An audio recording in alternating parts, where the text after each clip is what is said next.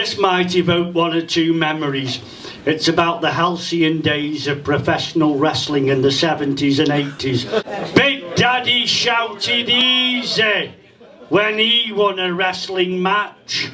Kendo Nagasaki wouldn't remove his mask. Yeah. Mick McManus and Mick McMichael were a Mick Mick Mick Mick Micking mouthful. Les Kellett and Catweasel fought to make us laugh. Honey Boy Zimba came from Africa, so did Johnny Kwango. Though me Uncle Rez does swear blind, he'd seen pair of them supping down his local. Count Bartelli from nearby Crewe and the legendary Tibor Szakacs with me auntie Pam's favourite too. Mum reckoned that we go last.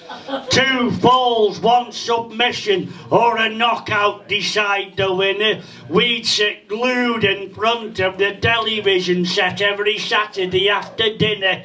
Johnny Kidd, Johnny Saint, Jackie, Mr. TV, Pallo, Adrian Street, Bad Bobby Barnes, and that Red Indian fellow. Half Nelson's forearm smashes, Boston Crabs, angry grannies, Kent Walton would describe it all with the air of a detached retina.